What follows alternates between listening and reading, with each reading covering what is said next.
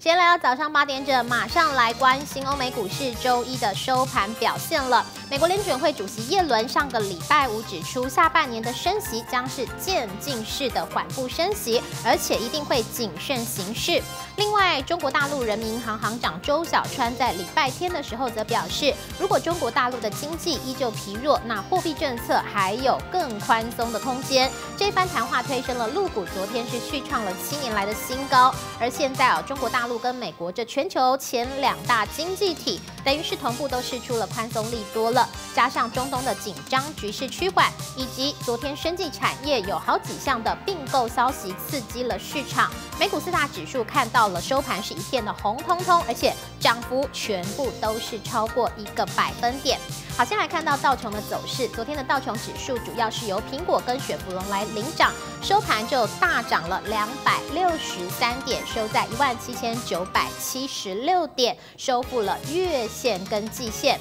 NBI 升绩指数则是上涨百分之一，推升了纳斯达克收高百分之一点一，收在四千九百四十七点，也收复月线了。费城半导体指数是同步收高百分之一点三，收在七百零三点的位置，而且费半这一波反弹的攻势是最强劲的，日 K 线已经是拉出了连续三根的红 K 棒，即将要往上来挑战月线。S M P 五百则是收涨百分之一点二，收在两千零八十六点，也是已经顺利的收复了月线了。好在台股 ADR 的部分，台积电呢是传出十六纳米已经提前的量产，ADR 看到了是收涨百分之一点三五的幅度，而且溢价的部分也扩大到百分之二点四。细品呢则是传出第一季的营运是呈现淡季不淡的，看到昨天的细品 ADR 也是大涨百分之三点一左右的幅度，即将要来挑战季线。